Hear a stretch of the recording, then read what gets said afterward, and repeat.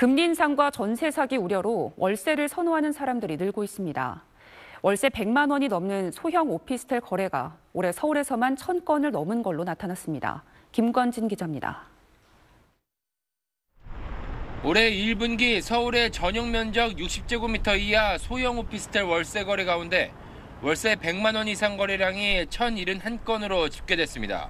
1분기 기준으론 2011년 이후 역대 최다입니다.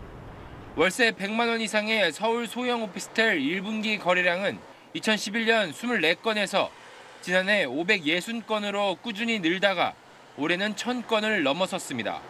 전체 월세 거래 가운데 월세 100만 원 이상 비중도 2021년 3.6%에서 지난해 5.3%, 올해 10.8%로 계속 커졌습니다.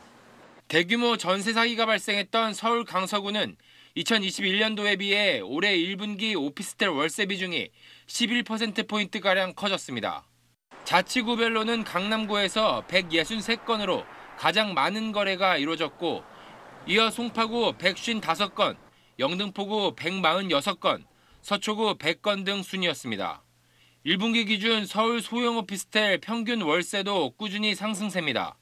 2016년 이후 줄곧 50만 원대를 유지하다가 지난해 60만 4천 원으로 올랐고 올해는 65만 2천 원을 기록했습니다. 반면 평균 전세 보증금은 지난해 1분기 2억 886만 원에서 올해 1억 9천 892만 원으로 하락했습니다. SBS 김관진입니다.